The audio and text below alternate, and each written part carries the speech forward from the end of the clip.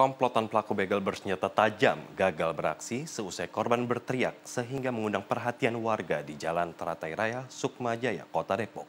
Peristiwa ini pun berhasil terekam CCTV yang terpasang di rumah warga.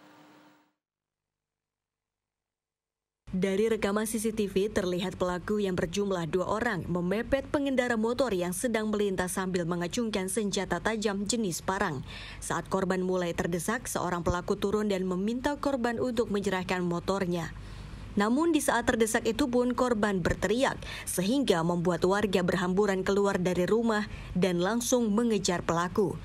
Menurut keterangan Ketua RT setempat, Ilyas mengatakan peristiwa percobaan pembegalan tersebut terjadi pada pagi hari, di mana kedua pelaku yang berboncengan motor tersebut sudah membututi korban dari arah Jalan Raya Boulevard GDC.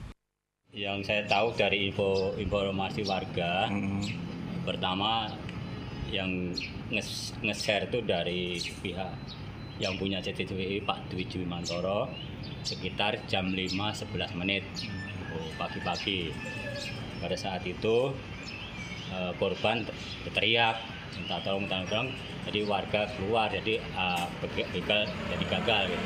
korban sempat teriak ya sempat teriak jadi begal gagal gitu. hmm, itu, uh, ada luka nggak sih pak dari nggak ada nggak ada nggak ada karena warga langsung banyak yang keluar langsung keluar sama kayak nggak ada yang diambil juga barang-barangnya Nggak ada sama sekali. Begalnya itu langsung balik.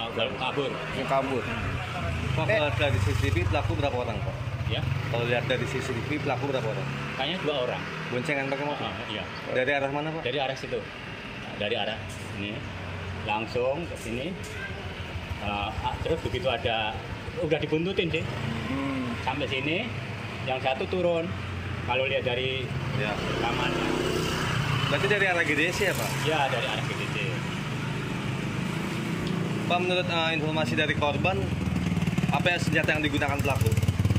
Nggak kelihatan sih. Jadi kita nggak nggak sempat uh, wawancarain si korban. Wah. Beruntung korban dapat selamat tanpa mengalami luka dan barang-barang milik korban pun tak ada yang dibawa kabur oleh pelaku. Diketahui korban bukanlah warga yang tinggal di sekitar lokasi kejadian. Kini kedua pelaku begal tersebut masih dalam pengejaran pihak kepolisian unit reskrim Polsek Sukma Jaya. Demikian laporan Damar Pamungkas Garuda TV.